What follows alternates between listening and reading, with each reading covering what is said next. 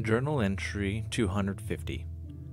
So we make it out of the mountains and we're tromping through the woods when I start feeling this odd presence again.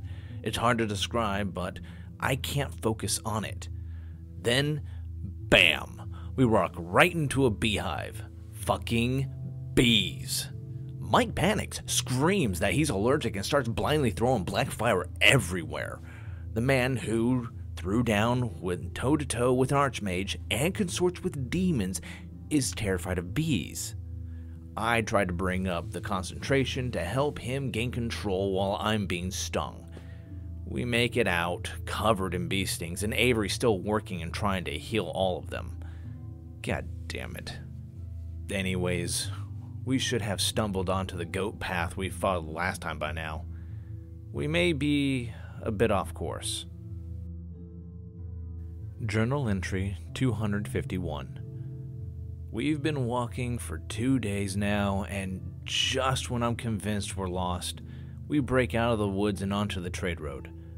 We were just east of it. We make it to Brightly before nightfall. The place is quieted down for the night except for the tavern, filled with loud dragonborn lumberjacks. Marcus got to playing and got them singing to Duran Duran stuff. Another group of humans is in town, a trade caravan from Winterfield that's been staying here until they hear back from the city. They've been here nearly a year and are afraid to return since the barbarian sacking of the town. We invited them to come along, but they declined. Come morning, we're gonna resupply and head out. It'll be nice to sleep in a bed tonight and get a warm meal. This ration shit gets tiresome. Journal entry 252. The Brightly to Wild Lake airship was coming in for a landing while we were on our way out.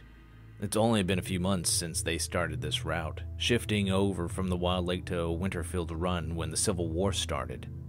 Already the city's expanded in signs of new prosperity. The people are wearing newer clothing, using better, newer tools, and so on. Anyways, we should have a few days on this road before we hit the plains. Then, Winterfield.